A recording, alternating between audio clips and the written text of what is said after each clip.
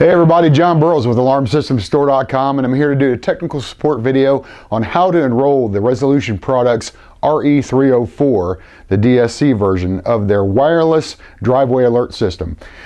And uh, basically I'm going to take you over to the tech table, I'm going to show you how to learn it into a DSC Alexor and uh, to show you how it's done. And I'll be back after that to explain a little bit more about this product. So let's head on over. All right, here we are at the programming table and we're getting ready to enroll this Resolution Products RE304 wireless driveway alert uh, unit into this DSC Alexor wireless system. Um, you can use this on the DSC Alexor, DSC Impassa, or the DSC Power Series 1616, 1832, or 1864. It's just basically a wireless sensor um, it, that will tell you and alert you when someone's coming up your driveway. Um, so the what you see here, uh, these pieces back here are basically the stand that it sits on. Um, they have nothing to do really with what we're going to do here. I just wanted to show them to you. So we're going to go ahead and put those off to the side. And uh, this is your main unit. Uh, this is the head of the uh, driveway detector. As you can see, it's got a nice little tiny circuit board in there, space for the batteries. Um, what you're going to do first uh, when you're programming this in is we're going to enroll it. So to do that, we'll go to, we'll hit our uh, star key to wake the pad up and hit star 8. Oh, let's go back. Star 8. Enter your installer's code, 5555. And then it asks for a section. We need to go to wireless enrollment mode section 898. And as you see there, it says wireless enrollment mode. Now what we're going to do to do this on the RE304, uh, when you power it up by inserting the battery that is loose right here, as you see, it will start sending out a special signal. So let's go ahead and put the battery in.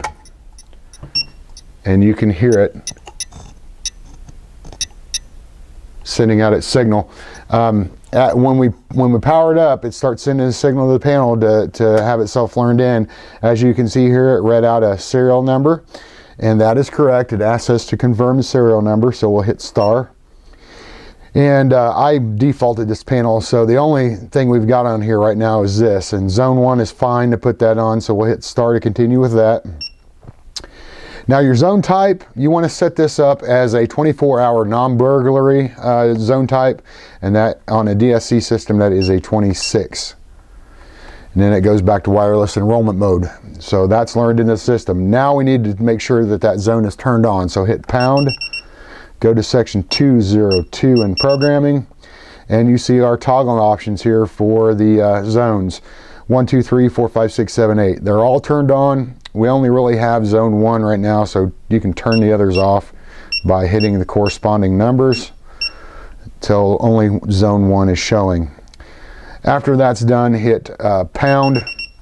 Now what's really neat about a DSC system is uh, if you've noticed your DSC system before, it has a chime feature and the usual chime sound is a six digit beep for your chime.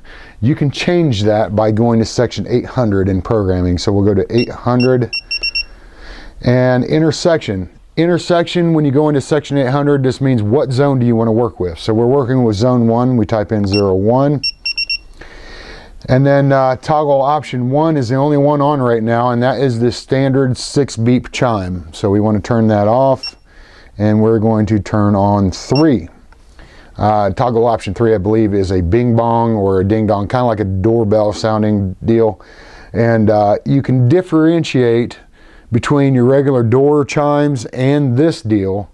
Um, like somebody comes up the driveway, you don't want it to sound like a door chime, you want it to sound like something else. So that's why we changed that in section 800. And then after that, you're all done. I mean, it is just that easy. It's just like enrolling uh, just any other DSC wireless device. Really great product from Resolution Products. Check it out on the website. Thanks, guys. All right, I'm back. Now, uh, that was pretty easy. Uh, the mount, the enrolling of this into the system is really simple, just like enrolling any other wireless device uh, into an Alexor or Impassa or Power Series.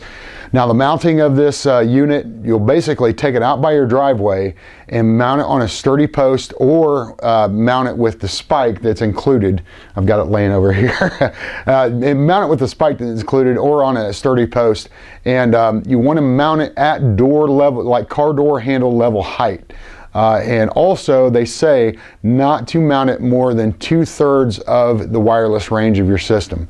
So it's very important. It does have sensitivity settings on there, and they also tell you in the instruction manual that um, it doesn't matter which way, uh, you know, how you turn the uh, head of the detector, but they do say that sometimes rotating it 90 degrees will help out a little bit.